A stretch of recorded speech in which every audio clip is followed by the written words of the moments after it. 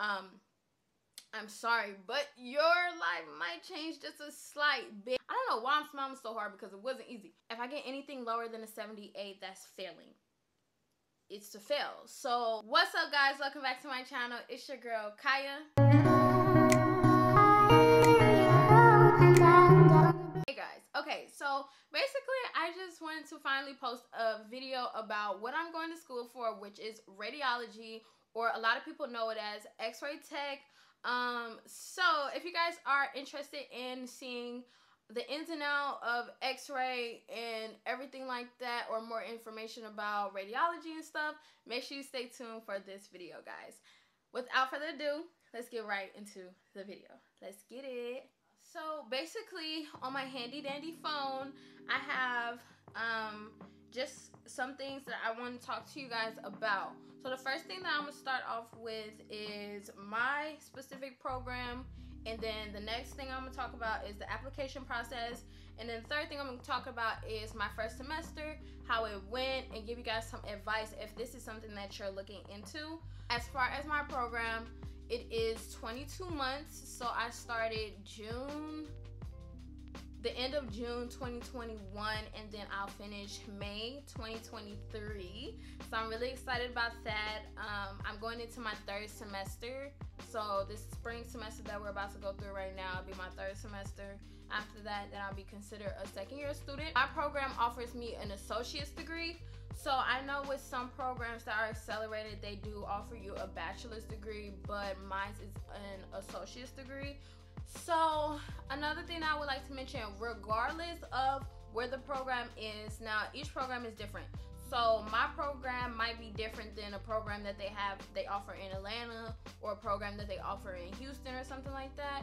But regardless of the program that you're in, please, please, please, please, please just make sure that it is accredited through the JRCERT. It's very, very long and I don't know what it stands for, but it is an accreditation so that you know you can freely take your license to any state and it just helps it just helps the process be so much smoother when you're looking for jobs and everything like that. Another thing is that my program specifically is very, very, very competitive. Um, we are the only program in probably, I would say maybe in like a 60 mile radius, maybe, maybe 60 mile radius that is accredited. So a lot of people are trying to get in this program from multiple states. And uh, with that being said, it is competitive. So I believe in the summer they accepted maybe like 30 something people. And then when the program actually started, it was about 23 people that made it to the fall semester. So depending on the clinical hospitals that they have available, that is how they base how many people they will accept every um, school year. Um, we do, they accept every year. So technically I still am the first year student, but when the second year students graduate in May, then I'll be a second year student. They'll be accepting first year students again. Now let's go to the application process. As far as the application process, let me just explain a little bit of how this goes because I know a lot of people have questions about this. It depends on the school and how your prereqs work with your program. Now for me specifically, the only two prereqs that my school required me to have done before I started the program was English and math. Now, we have to take though seven prereqs in total. So we have to take English and math, um, psychology, anatomy, physiology one and two, medical terminology, and we have to take two more. The other two, I can't remember. But like I said, the only two that you need to have done is English and math for my program. But that does mean while you're in the program, you will be taking those other five prereqs, which is extremely, extremely, extremely difficult. So I would recommend finishing all your prereqs before you get into the program. Now, with that, that will add some extra time onto your degree or how long you're in school for. So now, for me, for instance, it took me two semesters to finish seven prereqs, which is actually kind of unheard of because that's a lot. I took five classes one semester and two classes the second semester. So I had two semesters. That's basically like a year in school. So um, technically, I'll be in this program for three years, including my prereqs. So how my school did it was we didn't have interviews or anything like that. Now, previously, I believe the class of 2020 did have to do interviews, but I believe they stopped that. So now we take a test, and then which is like common sense situations, critical thinking, things like that. A little tiny, tiny, tiny bit of math, and then um, after we took that, then you know they consider our grades from our fall semester, and then they also consider our GPA from our fall semester. So I would definitely ask the director of the program what specifically do you look at when you're going through the application process so that you know exactly what you need to focus on um, prior to getting accepted into the program or prior to you actually putting in your application. So now let's actually actually get into I don't know why I'm smiling so hard because it wasn't easy. But let's actually get into my first semester. So technically my full first semester was my fall semester, which thankfully I passed and got through but it wasn't easy by any means. This program, for my program specifically, and I've heard of other x ray programs that are like this, my 78, if I get anything lower than a 78, that's failing. It's to fail. So, in order to pass every class, you have to pass it with a 78 or higher. Um, so, that was definitely something that I had to get used to. And I got used to it. you know, after a while, I definitely get did get used to it. So from my experience, we only really got grades from our tests and quizzes. So if you do bad on one quiz, it's like, okay, why did my grade drop so much? You know. So really, really take your tests and quizzes very, very serious. You will have to study a lot.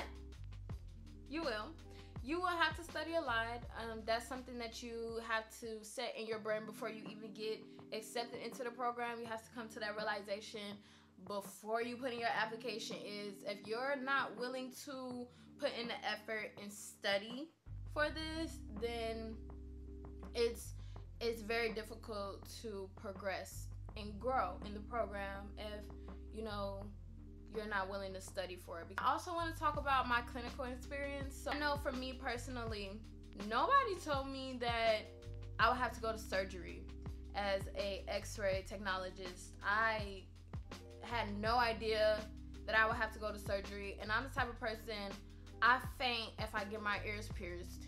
So I was kind of going crazy and didn't know what I was going to do exactly when I had got sent to surgery. But after the first time that you get sent, um, you get more comfortable with it. It's not as bad as you think it is. It's very few operations or surgeries in the OR that you would see where it's just like full blown horrible horror story or something that you see on TV. Most of it is just, you know, subtle procedures, even when they're working on the spine, like the cervical or the lumbar or something like that in those cases you don't see everything or you don't see just like blood just everywhere all over the place. So once you get that first surgery experience then you start getting used to it and you're like okay it's not as bad as i thought it was. It actually can be mm, maybe not fun. It can be very interesting to watch you know the surgeons and the surgical techs and things like that and then also how the x-ray technologist that you're with in surgery operates the C-arm and all that good stuff. Also for your clinical experience, like I said, it can be nerve-wracking, but I would just say use all your resources that you have. So in situations or some clinical sites, you can talk to a technologist that has been there for a while, ask some questions, even talk to recent graduates that might have graduated from your program that's at that clinical site. Uh, doing things like that will definitely help you get more comfortable. Please don't be afraid to ask questions. So don't be worried about clinicals as much as you probably are worried about clinicals. It's definitely easier said than done, but I promise you, once you go through it and you experience it, everything will be better. So, you definitely have to be prepared for a change in your social life. That I 100% believe. A lot of people say that for the next two years or however long your program will be, your your life will be put on hold or you know you won't be able to do everything that you want to do and i do agree you will not be able to do everything that you want to do but i also think that there is a balance that is needed um, so you might not have the same social life that you had previous or before the program but there is a option and a possibility for you to still have a social life and be in a program um, I do think that it's points in time in this program where you just got to be like, okay, I need a break. I need to breathe. I need to go out. I need to enjoy my life because if you don't, then you can't really rejuvenate and like bring yourself back down and calm back down.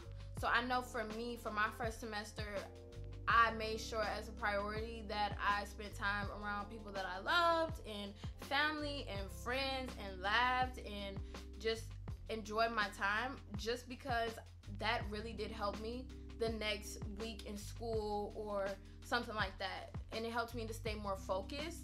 But that's just me personally speaking. Now, in general, overall, your social life probably will change. If you're a person that's going out every every every every week or, you know, you're doing this and you're doing that and you're going to the Bahamas and you're going to Mexico and Cancun and all that stuff, um, I'm sorry, but your life might change just a slight bit, but that's only for two years. And then after those two years, girls start using that passport again because you're gonna be set and you're gonna be good. So it can be very, very, very difficult to have a job. With that being said, it will be difficult if you need to have a part-time job and go to a full-time uh, school, go to school full-time but the thing with that is, it's definitely doable. I see it be done.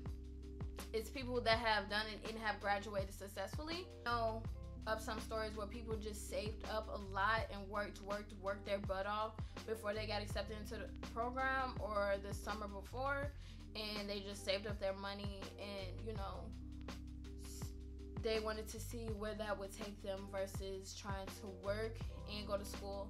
So for my first semester, what I did was I picked up a couple of shifts. So I believe I picked up maybe maybe four or five shifts during the full first semester as like an actual job. I personally thought it was best for me not to work. Um, and I believe that that did help me to focus on focus more so on the program. And then another topic that I do want to talk about is please prioritize self-care. So whether that be just, you know, taking out an hour and a half to work out real quick or taking an hour to do a face mask or do your hair or something like that. Something that makes you feel good because I promise you that will help you perform better in your program if you're taking care of yourself. So let's do like a summary and like overall. So overall, my first full semester of radiology school, I would give it about I would probably give it a 6 out of 10 and this is why I say that just more so because that is the semester that I really think I just got my feet wet and I was just really getting into it and things like that. I did not start off the semester as strong as I needed to, and so that's why I'm telling you guys this right now because I want you to avoid some of the mistakes that I did. Um, so definitely I would say, you know, start off the semester strong.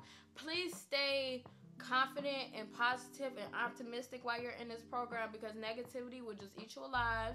But please just keep trying. Please keep trying. Go all the way until you can't go anymore. You know, study as much as you can, but do not burn yourself out because then you're not really learning. You're just reading. Please, please, please do not let clinicals freak you out or scare you. Just do things, go for it don't think about it. If somebody asks you, hey, you want to take an x-ray of a foot and you can do it, like your teacher tell you can do it, take it. You know, if you got fluoro, um, that's something that we do as well. Fluoroscopy, anything like that. If you're um, helping with the procedure where everything is sterile and they ask you to help you open packages as long as you know how to do it do it anything that you can do hands-on experience make sure that you do it. So it's a lot to get used to. It definitely is. But once you get comfortable with it you will be comfortable with it and it will get easier. So also guys i do want to do a q&a for you about x-ray school. So make sure you leave me some comments in my community tab. You can also go to Ciahspix and DM me some questions. I'll put up a poll even if you guys want to ask me some questions about it because I really do want to make sure that, you know, the questions that you guys have, if you're interested in this program or this career, that those questions get answered for you. So guys, I think I'm gonna go ahead and so guys, I think I'm gonna go ahead and finally close out this video and I will see you guys in my next video. Bye guys!